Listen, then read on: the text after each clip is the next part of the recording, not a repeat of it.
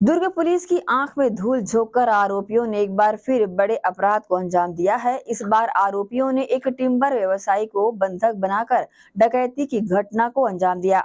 साथ ही उन डकैतों के हौसले इतने बुलंद नज़र आए कि बाकायदा उन आरोपियों ने पार्टी मनाकर बाकायदा नशा का सेवन कर घर में रखे नकदी, रकम और सोने के जेवरात को लूट कर फरार हो गए। दुर्ग के पुलगांव थाना क्षेत्र में बीती रात टिम्बर व्यवसायी के घर डकैती हो गई। पाँच से छह नकाब पोषों ने व्यवसायी के घर धावा बोला और उसके हाथ पैर बाँध कर घर में रखे नकदी व पैंतीस तोला सोना लूट कर फरार हो गए। इस घटना में डकैतों ने घर में पीछे दरवाजे का ताला तोड़कर घुसे।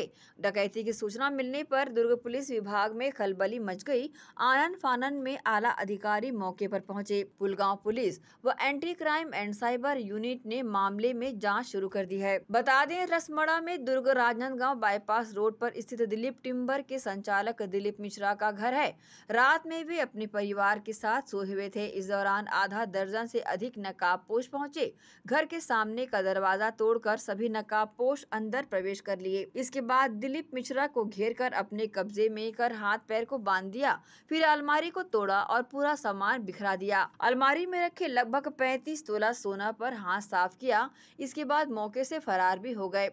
पुलिस ने बताया कि घटना शुक्रवार व शनिवार के दरमियानी रात ढाई बजे की है।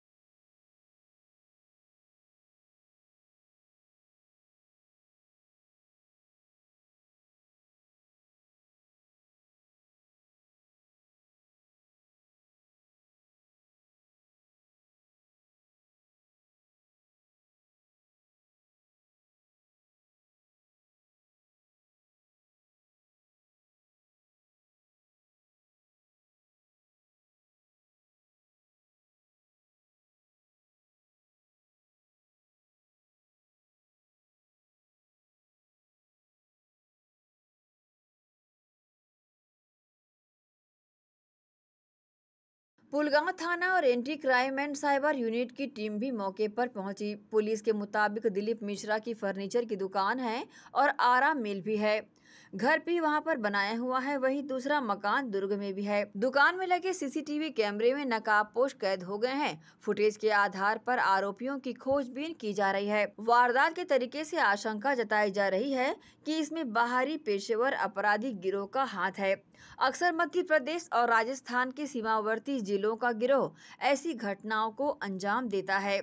ये गिरोह राष्ट्रीय राजमार्ग के किनारे लगे घरों को निशाना बनाते हैं, ट्रक से उतरते हैं और वारदात को अंजाम देकर भाग भी जाते हैं। फ़िलहाल पुलिस टीम मामले में आरोपियों की खोजबीन में जुट गई है। इस दौरान पीड़ित परिवार ने अपनी प्रतिक्रिया इस प्रकार से दी। मेरे कमरे की तरफ़ से, खिड़की की तरफ़ से टॉर्च का रोशनी मेरे रूम में आया। तो मेरे को लगा कि मेरे कमरे के बैक साइड में कोई है। मैं उठी हूँ, उठ के थोड़ा सा पानी पी। मोबाइल देखी तो दो बज के छियालीस मिनट हो रहा था। तब तक उन लोग किधर से आए वो तो मैं उस समय नहीं जानती हूँ। मेरे कमरे का दरवाज़ा पीटने लगे थे कि खोलो, नहीं तो तोड़ देंगे और मार डालेंगे। लेकिन हम लोग खोल नहीं रहे थे कि लॉक इंटर लॉक है। कितना देर तक कि खोलेंगे, तब तो तक पुलिस को फ़ोन करते हैं। पर मेरे हस्बैंड नींद में थे, उनकी हिम्मत ही नहीं हुई फ़ोन करने की। और उन लोग तोड़ के अंदर घुस गए। पाँच लोग थे, दो अधेड़ थे, तीन लड़के जैसे थे। अधेड़ जो था, वो पचपन साल के करीब का रहा होगा। बार बार ऐसे लकड़ी से भिड़ा के बता कहाँ है सामान। मेरे कान का उतरवाए एक चैन उतरवाए मेरे हस्बैंड का एक अंगूठी उतरवाए वो हमने दे दिया। फिर उन लोगों ने बोला कि आपके घर में माल तो होगा, चारों तरफ़ हम खंगाल चुके हैं, कहीं नहीं है, इसी रूम में जो होना होगा होगा। बता दो सच सच कैश कहाँ है? कैश के पीछे ज़्यादा पड़े थे, लेकिन कैश था नहीं। ऑनलाइन के कारण कैश आजकल रहता नहीं है। पच्चीस हज़ार रुपया था, वो भी आज शनिवार है तो लेबर पेमेंट के लिए। सोना मैं पहले यहाँ रखती नहीं थी, सोना हमेशा मैं अपने सेफर साइड में, दुर्ग में अपने मायके पर रखती हूँ। लेकिन अभी कुछ शादियाँ और कुछ कार्यक्रम था तो मैं अपना पोटली उठा के जो है, ले आई थी। उस पोटली में ही सारा गहना था और सोची कि एक दो दिन बाद बैंक ऑफ़ बड़ौदा के लॉकर में जाके रख दूँगी। जब उन लोग तोड़े हैं, अलमारी तो उनको पूरा पोटली मिला, लेकिन उस पोटली को लेके उन लोग भागे नहीं। उस पोटली को पूरा खोल खोल के एक एक ऑर्नामेंट डिब्बा फेंकते गए, अपने बनियान के अंदर रखते गए और पूरा गहना रखने के बाद में उसमें एक दो पीतल का भी गहना था, उन लोग पहचान के फेंक दिए। रकम का अंदाज तो मैं नहीं बता पाऊँगी, लेकिन सोना पैंतीस तोला था और छिल्लर गहना उसमें नहीं था, बिल्कुल भी। उसमें जो भी सामान था अंठावन ग्राम का एक कंगन था पचपन ग्राम का एक मंगलसूत्र था पच्चीस ग्राम का मतलब ढाई तोले का एक टोकनी सेट था फिर ढाई तोले का एक और सेट था। दस ग्राम के मेरे बेटे का ब्रेसलेट था बारह ग्राम का मेरे बेटे का चैन था मेरे हस्बैंड का चैन था पंद्रह ग्राम का। और देखिए वो यहाँ के थे नहीं। मैं उनको देखी कभी नहीं हूँ। लेकिन एक दिन पहले कुछ कुछ संदिग्ध वातावरण मेरे को अपने मन में ही लग रहा था, क्योंकि मेरा डॉग भूखता नहीं है और सा, रात में नौ बजे जब मैं गेट खोल के निकली तो मेरा कुत्ता पीछे की तरफ़ ही भूख रहा था। मैं जाके अपनी वर्कर को उठाई, जगी हुई थी वो, कि कुमारी देखना कैसे भूखा थे दीवार के पीछे कुत्ता। तो मेरे हस्बैंड थके हुए थे काम करके, बोले कि कुत्तों का काम भूखना है, चलो सोते हैं कुछ। कुछ नहीं है। लेकिन और कोई कुत्ता नहीं भूख रहा था, सिर्फ़ वही भूख रही थी। लेकिन कल रात को घटना को अंजाम देने के बाद, उनके जाने के बाद जब मैं बाहर निकली हूँ तो मेरा जो डॉगी था, वो एकदम सहम के उस पेड़ के नीचे बैठा हुआ था और वर्कर दोनों अंदर सोए हुए थे।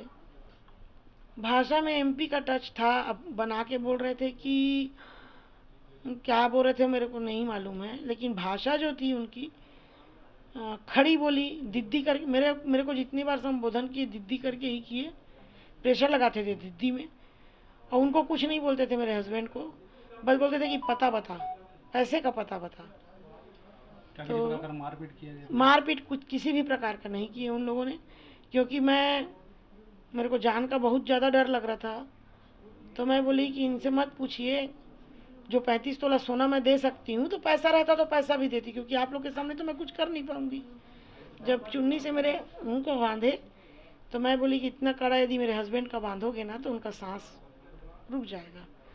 तो बोले कि नहीं बाँध रहे हैं, उन लोग नाक वाक कुछ नहीं बांधे, बस ऐसे बांधे थे, उनके हाथ पैर बांधे थे। और बाकायदा हम लोग को लेटा करके, और मेरे एसी का जो कंफर्टर है, उसको उड़ा दिए थे उन लोग कि चैन से सो किसी प्रकार का हल्ला मत करो। और किसी को खबर करने की कोशिश करोगे तो रात को हम फिर आएँगे। सारा उम्मीद तो मेरे को अपने अपने छत्तीसगढ़ के पुलिस प्रशासन से है। मेरे पास फ़ोन नहीं था, मेरे नौकर के फ़ोन से। एक दो नंबर मेरे को अपने घर वालों का, वो भी याद नहीं था टूटा फूटा फिर दिखाने लगता है कॉल रजिस्टर में। 112 को मेरे हस्बैंड ने फ़ोन किया और जैसे ही मैं अपने घर फ़ोन की हूँ तो मेरे देवर हैं जो रायपुर से हैं, ये मेरे नंदोई हैं जो चरोदा से, जो जहाँ से सुना है, एक दूसरे को इन लोगों ने फ़ोन किया। और जब 112 वाले आए थे तो उस समय तो कुछ भी नहीं हो पा रहा था, क्योंकि उन लोग एक जन थे, फिर जाके फिर एक जन को लेके आया था। मैं बार बार बोली थी कि, सर, मेरे मोबाइल को आप लोग ट्रेस करिए, मेरे मोबाइल मेरे हस्बैंड के मोबाइल में फ़ोन करिए। पर उन लोग उतना भी नहीं कर पा रहे थे। लेकिन जब टीम अपने बेटे को मैंने किसी ने फ़ोन किया तो उसने वहाँ से हैदराबाद से मोबाइल ट्रेस किया। तो बताया कि एक मोबाइल इस लोकेशन में फेंकाया है और एक मोबाइल तेरा उस लोकेशन में फेंकाया है। सर, कल रात में लगभग दो बज के अड़तालीस मिनट पे हमारे कमरे के दरवाजे को तोड़ा गया। पाँच आदमी हमारे रूम में आए, हमको बंधक बना के पूरा कर दिया, मेरा हाथ पैर और मुँह पे बाँध दिया मिसेज को भी बाँध दिया। उसके बाद उनका ये कहना था, कहाँ पैसा रखे हो, क्या रखे हो, हमको बताओ। नहीं तो हम लोग मार डालेंगे दो तीन बार उन्होंने हमें मारने का प्रयास किया, लेकिन हमारे साथ मारा नहीं उन्होंने, बस बाँध के हमको रख दिया था। उनके साथ जो आए थे, उन्होंने अलमारी तोड़ना चालू किया। उसमें जो नगद पैसा और जो सोना था, उसको पूरा उन्होंने भरना चालू किया और फिर पूरा इकट्ठा किया। उसके बाद बोले, ना पुलिस में कंप्लेंट करना और ना कुछ करना। मतलब रूम में घुसते पहले तो हमारे दोनों मोबाइल ही कवर कर लिए उन लोगों ने। और उसके बाद सब लेके करीबन आधे घंटे पैंतीस मिनट बाद वो निकल गए। सामान में छब्बीस, सत्ताईस हज़ार रुपये नगद लेके गए हैं।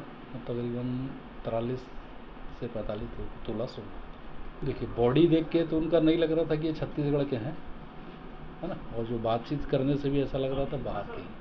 मतलब कुछ साउथ टर्न या हल्का एम पी टच इस टाइप में लग रहे थे। वो तो चड्डी बनियान में ही थे तो हमको तो लगा चड्डी बनियान उन्हें मुँह बांधा हुआ था आधा स्कार्फ सिर पे गमछा उनके बंधा ही हुआ था।